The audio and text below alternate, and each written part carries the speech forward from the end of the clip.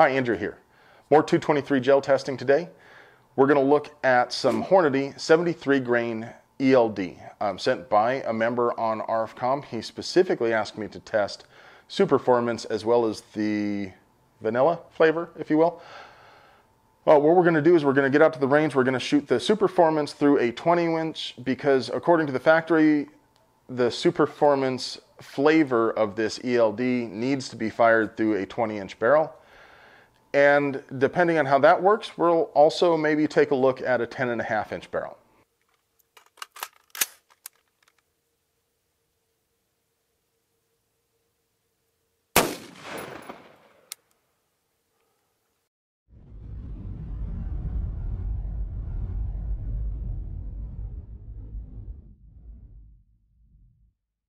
Okay, so out of a 20 inch barrel, this does not have adequate penetration despite being a relatively heavy bullet.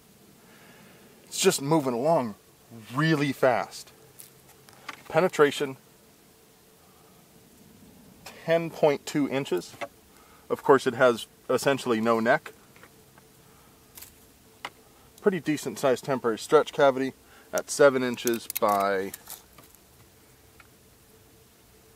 about 4 inches.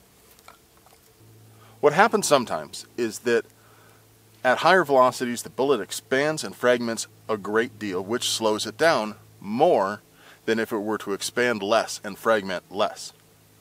So what we might actually see here is when we fire the regular 73 grain, the, the not Superformance version, out of a 10.5 inch barrel, we might see substantially more penetration.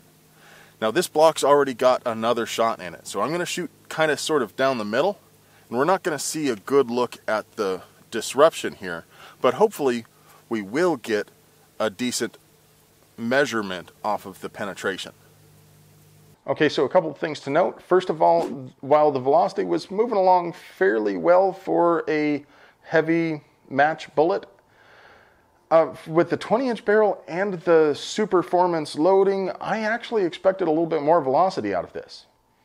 I also expected deeper penetration. It is a pretty heavy bullet, and I know that it's designed to upset quite a lot, but I did expect it to get a little deeper into the gel block.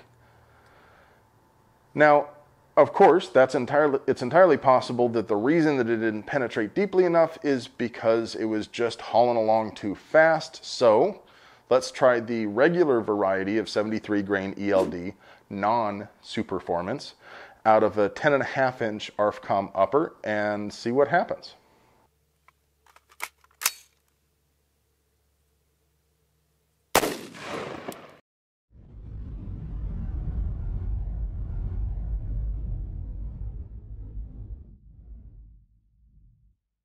Okay, so as I mentioned, there were already two shots in this block.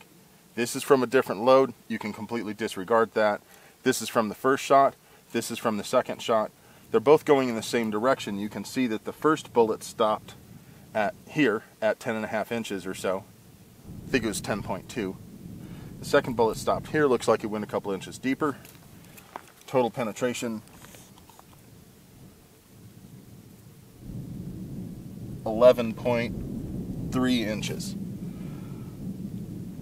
So still too shallow for use as a defensive load this is clearly just for match or maybe larger varmint hunting like coyotes, possibly even javelina or something like that, but not the best choice for human defense because even at a lower velocity, it does go deeper, but it still falls short of that 12 inch minimum. All right, I'd consider that pretty conclusive. Even out of the shorter barrel with the non Superformance flavor, it still penetrated inadequately. And uh, to unpack this a little bit for you guys, the reason we went to a shorter barrel expecting more penetration is because what happens sometimes if you get a bullet moving fast enough is that faster bullets tend to expand earlier and to a greater degree than slower moving bullets. And that expansion causes more drag and that slows the bullet down faster. So a faster moving bullet can actually penetrate less, as counterintuitive as that may seem. In this case, both the 10.5 inch and the 20 inch, both the non-Superformance and the Superformance flavors, penetrated less than that FBI recommended 12 inch minimum, which, as you know, is required to reach deeply enough to reliably get to vital organs, even if you have to pass through a limb at an angle or take an oblique shot through a torso or some, something along those lines. In any case, we did not see adequate penetration, and therefore, this is probably not the best choice for defense at any range or out of any barrel length. Doesn't mean it's crap ammo, it just means that it's not really that well suited for a defensive application. If you disagree with my conclusions or my methods, or if you have any questions, definitely leave a comment below. I love to hear back from you guys.